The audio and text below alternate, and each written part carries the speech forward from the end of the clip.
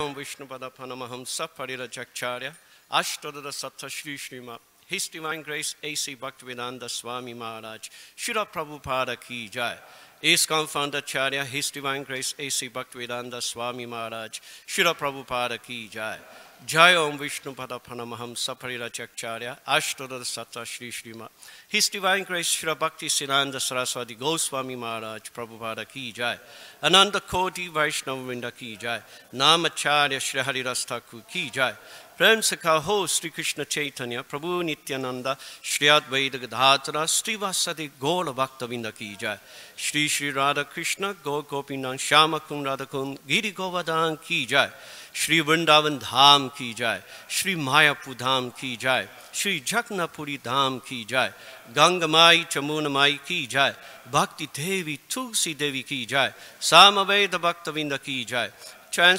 distribution ki jai. Transcendental prasada distribution ki jai. Hare Rama Sankirtan ki jai. ISKCON Youth Wakadam ki jai.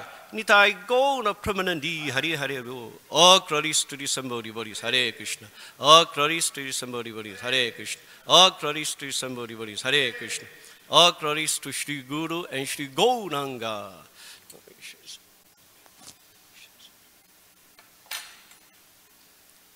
ॐ नमो भगवते वासुदेवाय।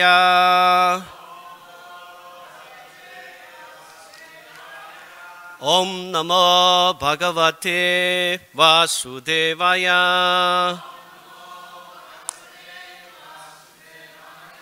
ॐ नमो भगवते वासुदेवाय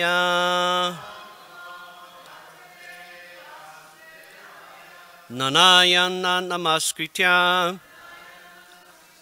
Naranchaiva Narottamam. Devin Sarasvatim Vyasam. Tatojayam Uditrayet Nasta Prayeshu Abhadreshu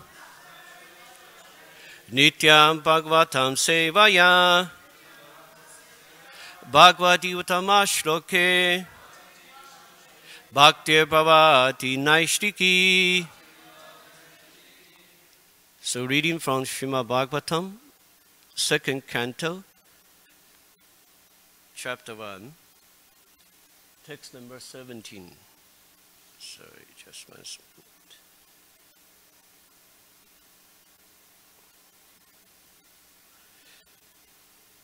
Give it a second.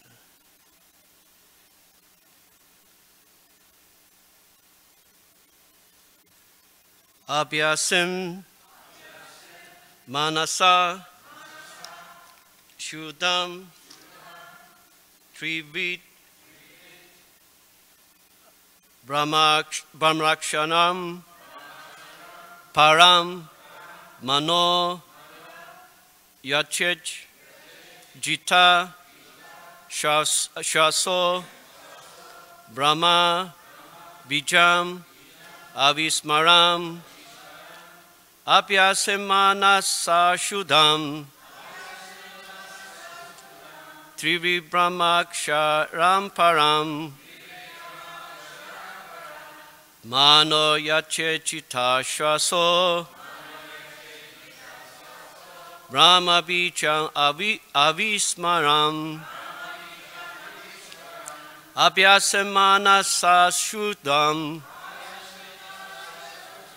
Brahma Bicham Avi, Avismaram Abhyasamana Shudam Trivi Brahmaksharam Param. Mano Yache Chita Shwaso Brahma Bicham Avismaram. Abhyasamana Shudam Trivi Brahmaksharam Param. Mano Yacha Chita Shwaso Brahma Bicham Avismaram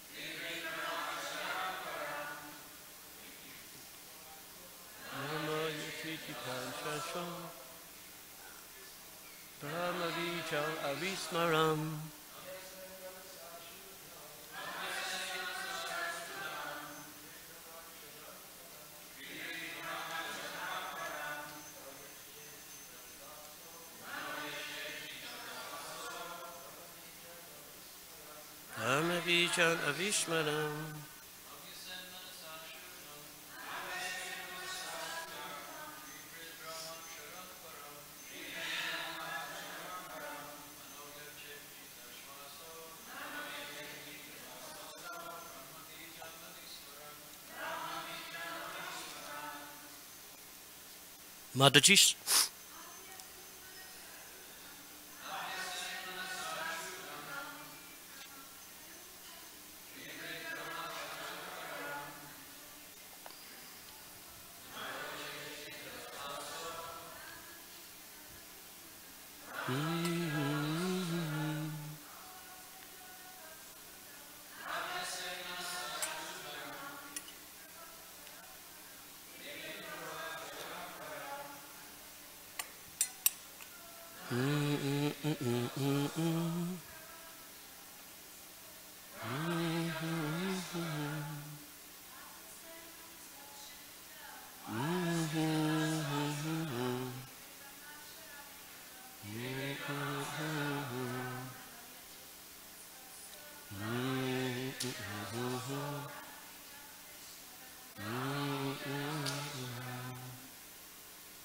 Mataji's said, one should practice manasa by the mind, shuddham, sacred, sacred, sorry, Trivrit, composed of the three, Brahma Aksharam, uh, Brahma Aksharam, transcendent letters, Param, the supreme, Manaha, mind, Yachet, get under control. Chitta Saha, by regulating the breathing air. Brahma, absolute. Vijam, seed. Avismana maram, without being forgotten. Translation and, and purport by His Divine Grace A.C. Bhaktivedanta Swami Srila Prabhupada. Translation After sitting in the above manner, make the mind remember the three transcendental letters AUM, and by regulating the breathing process, control the mind so as not to forget the transcendental seed. Purport Onkar or, or the pranava, is the seed of transcendental realization, and it is composed of the three transcendental letters AUM. Sorry? R-U... Auma. Okay, thank you, Prabhu. Auma. By its, chant, by its chanting by the mind, in conjunction with the breathing process, which is a transcendental but mechanical way of getting into trance as devised by the experience of great mystics, one is able to bring the mind, which is materially absorbed, under control. This is the way of changing the habit of the mind. The mind is not to be killed. Mind or desire cannot be stopped. But to develop a desire to function for spiritual realization the quality of engagement by the mind has to be changed. The mind is the pivot of the active sense organs, and as such, if the quality of thinking, feeling, and willing is changed, naturally the quality of action by the instru instrumental senses will also change. Omkar is the seed of all transcendental sound, and it is only the transcendental sound which can bring about the desired change of the mind and the senses. Even a mentally deranged man can be cured by treatment of transcendental sound. In the Bhagavad Gita, the pranava onkar has been accepted as the direct literal representation of the supreme absolute truth. One who is not able to chant directly the holy name of the Lord, as recommended above, can easily chant the uh, pranava onkar. This onkar is a note of address, such as "Oh my Lord," just as Om Hari. Om means "Oh my Lord," the supreme personality of Godhead. As we have experienced before, the Lord's holy name is identical with the Lord Himself. So also is Onkar.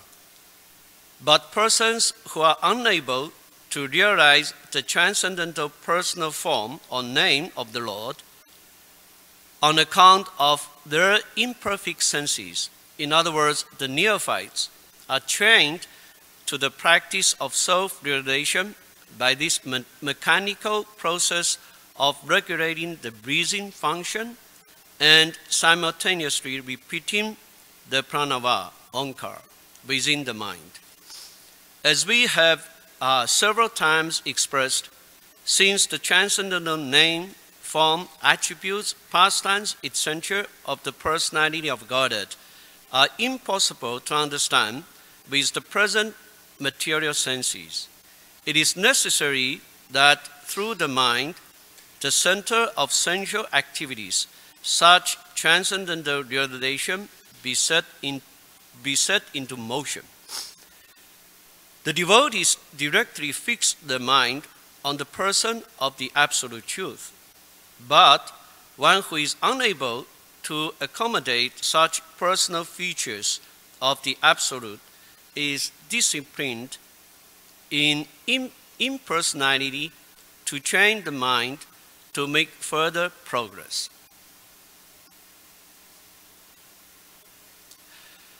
Om Jnana Timinandasya Gyananjana Shalakaya Chakshu Uminitan Yena Tasmai Shri Gurave Namaha Shri Chaitanya Manobhishtam Stapidan Yena Bhutale Swayanupa Kadamahyam Tadati Swam Padantikam Vandeham Shri Guru Shri Yuta Padakamanam Shri Rupan Sagrachatam Sagana Lakundatam Vitam Tam Sajivam Satvaitam Savadutam Parijana Sahitam Krishna Chaitanya Devam Shri Radha Krishna Padam Sahagana Lalita Shri Vishaka Mitamscha Hey Krishna Karuna Sindhu Dinabandhu Jagapate Gopesha Gopika Kanta Radha Kanta Namastude تپت kitchen گو رنگ ردے برندا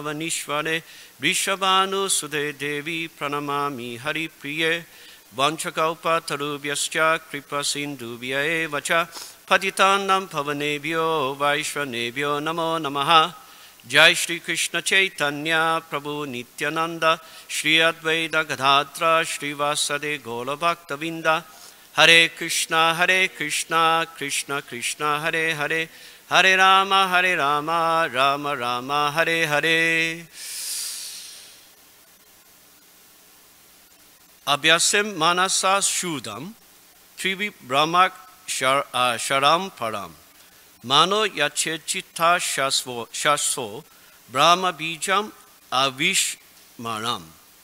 Translation again. After sitting in the above manner, make the mind remember the three transcendental letter.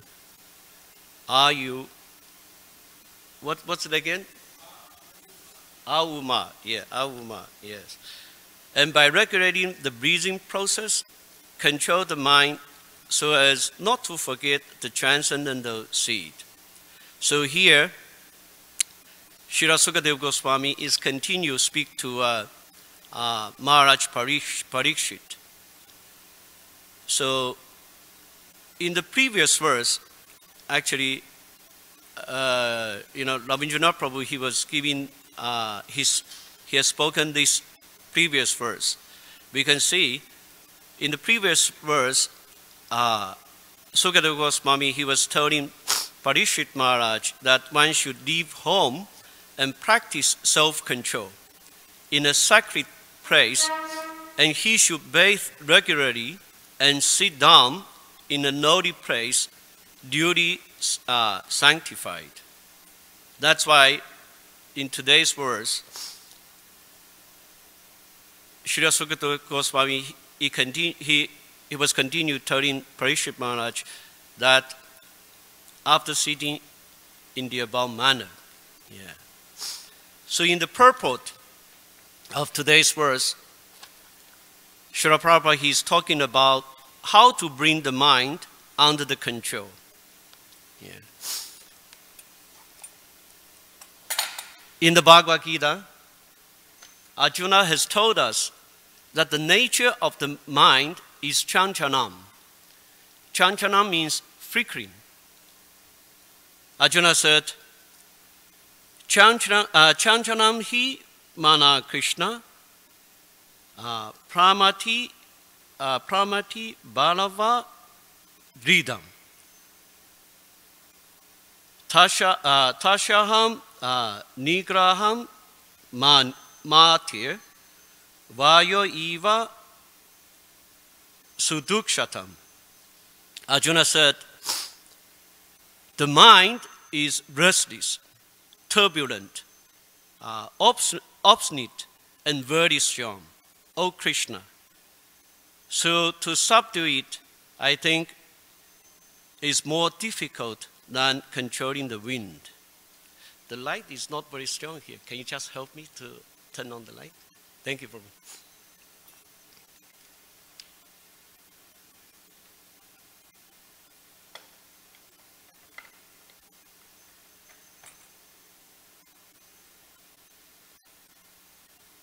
So, in the purport to this verse, uh, you know, in the Bhagavad, to this Bhagavad Gita verse, Srila Prabhupada, he has explained the relationship of the mind, intelligence, the senses, and the uh, individual soul. Thank you, Prabhu. Actually, I found a uh, picture in the Bhagavad Gita, very vivid, vividly described their relationships. Yeah. It is said that the individual soul is the passenger in the car of the material body. And the intelligence is the driver. Mind is the driving instrument, the reins. And the senses are the horses. So that is the, uh, the relationship.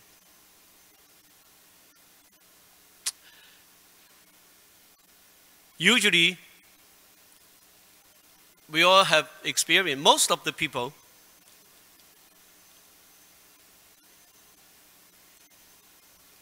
they are actually uh, they are all following the dictation of the senses. In uh, 90, actually, 99.9 percent of the people, they are just following the dictation of the senses. So, if that is the case, uh, then people they are just mad after you know sense gratification.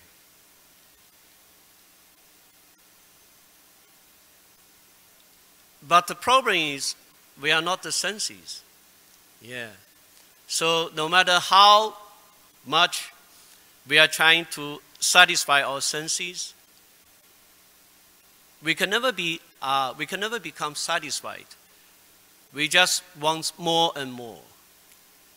It's just like uh, pouring, uh, pouring fuel on the fire. Yeah. The more fuel you are supplying on the fire, the fire, in the beginning, the fire might you know, diminish a little bit, but after a second, the fire will become very st strong, you know. And the more you are supplying the fire, uh, the fire will become you know, more and more. That's why no matter how much we are trying to satisfy sen- the senses, the senses will never become satisfied. We want to enjoy more and more. Yeah. And there's no end of it. Yeah. But sometimes some yogis they understand, you know, by, uh, by following the dictation of the senses, uh, that will give them problems. So they are trying another way that which, which, which is uh, negation of the sense of the senses. And this way is not working also. Just like there's a great rishi uh, described in the Srimad Bhagavatam, uh, like the Saubhari Muni, a great, you know, Muni. Saubhari Muni, he's such a powerful uh, sage that in order to practice controlling the uh, mind and senses, he was able to meditate underneath Yamuna, the water of Yamuna River. See, when we practice meditation, you have to sit straight like this, and your eye has to be half closed and half open, and focus uh, your eyesight on the two eyebrows, in between two eyebrows. Your eye cannot open too much because if you are open too much, then you will be allured by the object of the senses in front of you. And also, you cannot completely close your eyes because otherwise you will fall asleep. Right? So you have to half close your eyes and just sit in between two eyebrows. But one day, when Saubhari Muni was meditate uh, under the water of Yamuna, he, he opened his eyes a little bit wider than usual. And he saw two fish in front of him is having sex. And because in his mind, this kind of uh, sex pleasure is already there in his mind, so immediately, you know, he cannot continue his meditation. So immediately he came out of the water and asked the king to give one of his daughter as his wife. Yeah. The king of Mathura then gave him all his 50 daughters as his wife. Yeah. Of course, in the beginning, Nobody wants to marry, marry him because he has practiced underneath Yamuna River for so long, and he look he has very long hair, you know, skinny, you know, very, looked very very ugly. But by his mystic power, he transformed himself into a very young, handsome man. And then all the uh, 50, you know, princesses all desire to marry him. So, artificially trying to control the senses exactly, you know, will not work. Because the senses are naturally want some enjoyment. Yeah.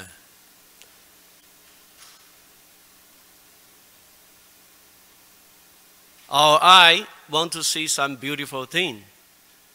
Yeah, our ear wants to hear some uh, melodious sound.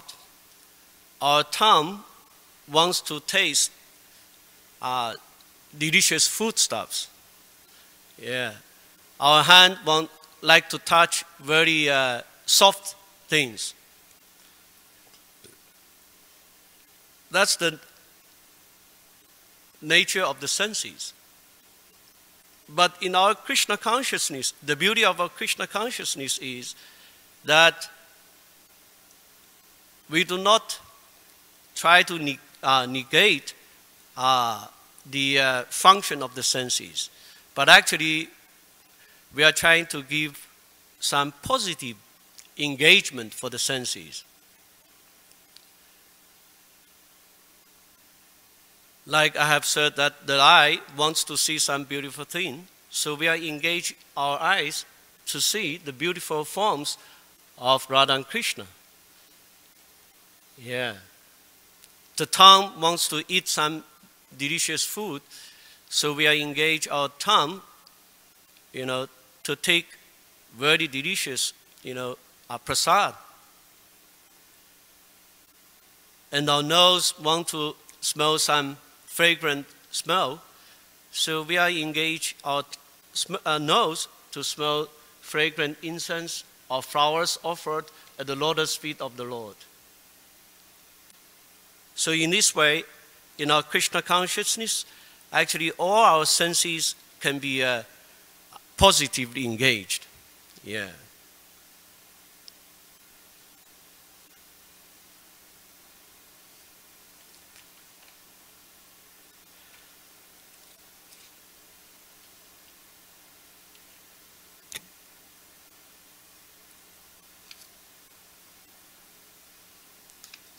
In the Bhagavad Gita, following Arjuna's questions, because Arjuna was saying it's very difficult to control the mind than controlling the wind. And then Krishna explaining to him how to control you know, the mind. Krishna gives some solution. Krishna said here, Sri Bhagavan Vacha Ashanshayam Mahabaho Mano Dunin Gaham Chalam Abhyasena tu Konteya Vairagyana Chagriyate. Krishna said, Almighty Am, son of Kunti, it is undoubtedly very difficult to curb the restless mind. But it is possible by suitable practice and by detachment. Srila Prabhupada wrote very nice uh, purport to these words. Prabhupada he said, the difficulty of controlling the obstinate mind as expressed by Arjuna is accepted by the personality of Godhead. But at the same time, he suggests that by practice and detachment, it is possible.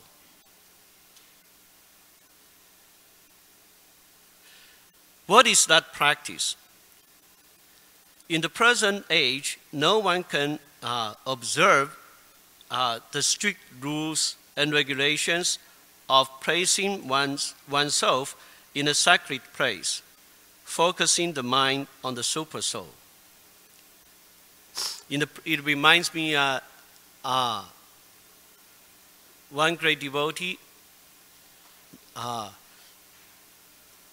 under the uh, instruction of uh, Narad Muni, Dhruva Maharaj, he went to the forest, uh, Madhuvan in Vrindavan. He practiced very severe austerities like in the first months, he, he just eat uh, whatever uh, fruits in the forest every three days.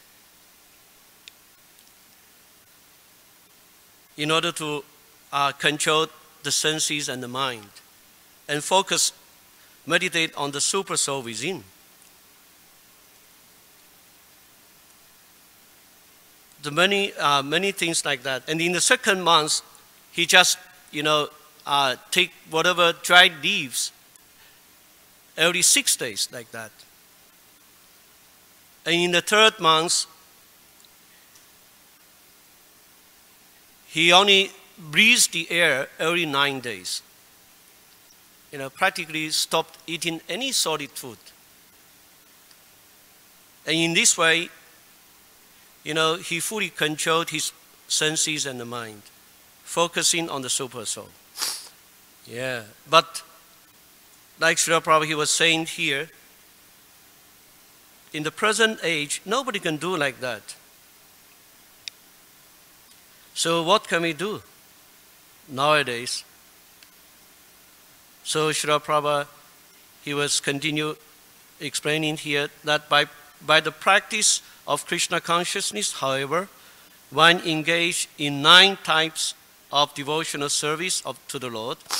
The first and the foremost of such devotional engagement is hearing about Krishna.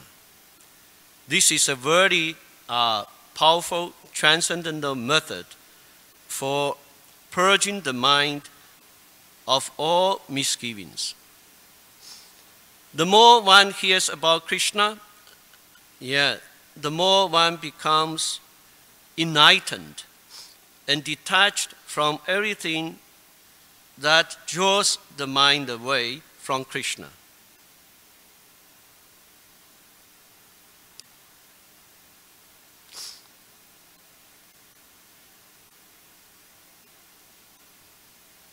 By detaching the mind from activities uh, not devoted to the Lord, one can very easily learn vairagya. Vairagya means detachment from matter and engage of the mind in spirit. Yeah. Impersonal spiritual detachment is more difficult than attaching the mind to the activities of Krishna. So impersonal spiritual detachment, just like what Saubhari Muni he was doing, yeah, it's a kind of impersonal, you know, detachment. So that won't work. That's why probably he was saying here, impersonal spiritual detachment is more difficult than attaching the mind to the activities of Krishna. So this is practical because by hearing about Krishna, one becomes automatically attached to the Supreme Spirit. This attachment is called uh, pareshanubhuti, uh, spiritual satisfaction.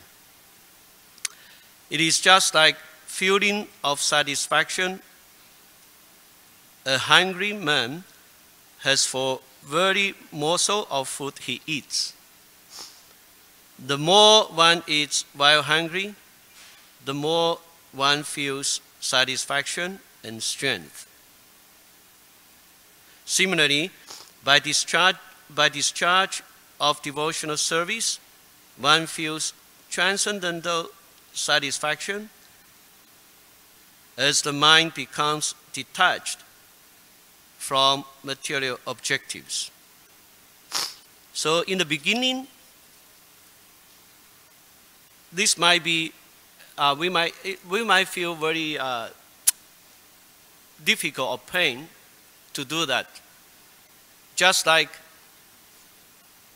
a person who had jaundice, this disease. The cure for this jaundice disease is to take the uh, rock candy. Yeah, rock candy is very sweet. But because uh, the person who has this jaundice disease, because of disease, so even sweet candy tastes bitter for him.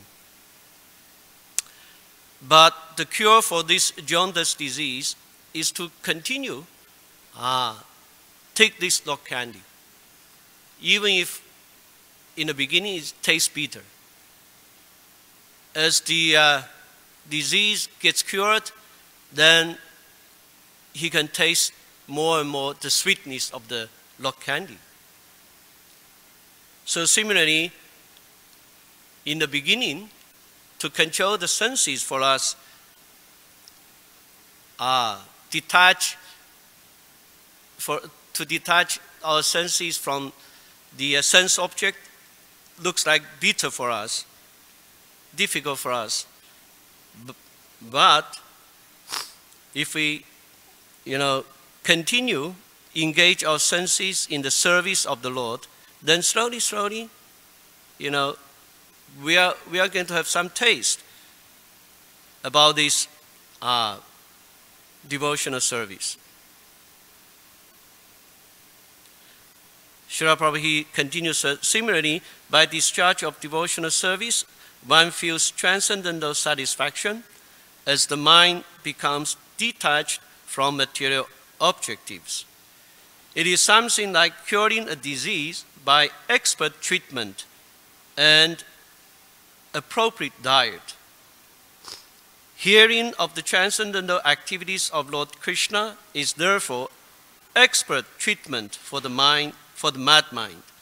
And eating the foodstuff offered to Krishna is the appropriate diet for the suffering patient. This treatment is the process of Krishna consciousness. So that's why I like this, you know, Krishna consciousness movement, because you know, Krishna conscious practice, all our senses can be, act, can be actively engaged in the service of Krishna.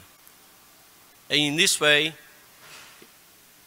you know, we can, our heart and soul can be fully satisfied. So I'll stop here. Are there any questions and comments?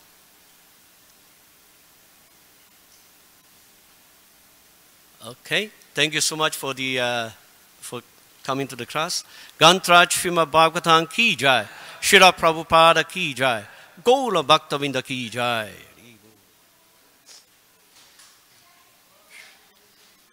I hope everything is all right.